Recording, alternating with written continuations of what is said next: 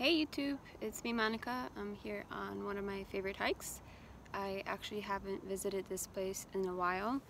Um, this used to be the hike that I do when I was angry or if I was upset. Um, it is uh, quite steep in the beginning and it gives me quite a bit of a release, um, meaning I get tired and exhausted, but I just keep going because this view is quite phenomenal. So it opens up to a nice beautiful bay as you can see. And what it is that I do when my thoughts are frustrated or I am angry with myself, I ask earth, I ask the ground, I ask the trees to help me heal. I ask them to take away my energy and put more roots in myself. My friends are up on the ridge and they just whistle to me as you can, maybe you can see them up on the ridge. Um, so when I ask Earth or when I ask uh, the plants and the trees and the birds to help me, help me, I become more present in the moment.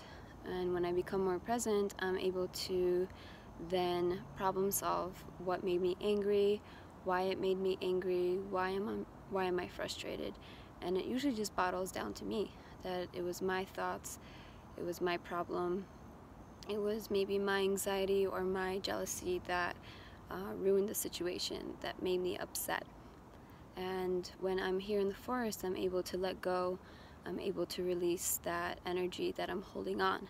And when I release that en energy, my body feels more free. I'm more able to think clearly, I'm able to forgive myself, I'm able to forgive the situation or the person that I was upset with.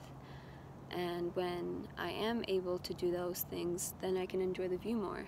I can watch the sunset, I can hear the birds more, and the waves that are just coming through and passing by, uh, they become more beautiful. And I'm just more present in how I feel too.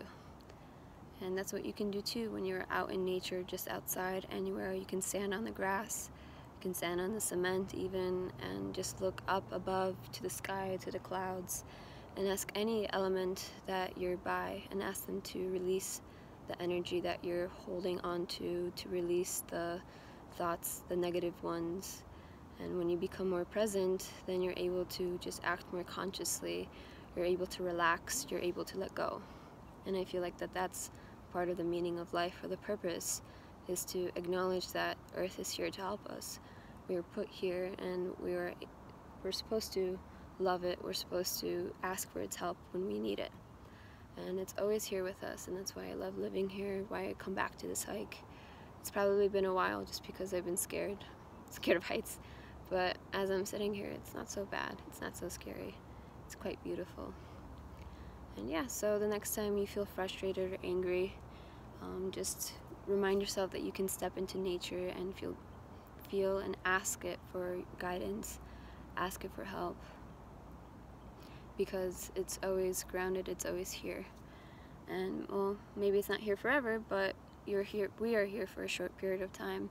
So you might as well just enjoy its beauty enjoy its healing powers that it can give us. So thanks for listening. Bye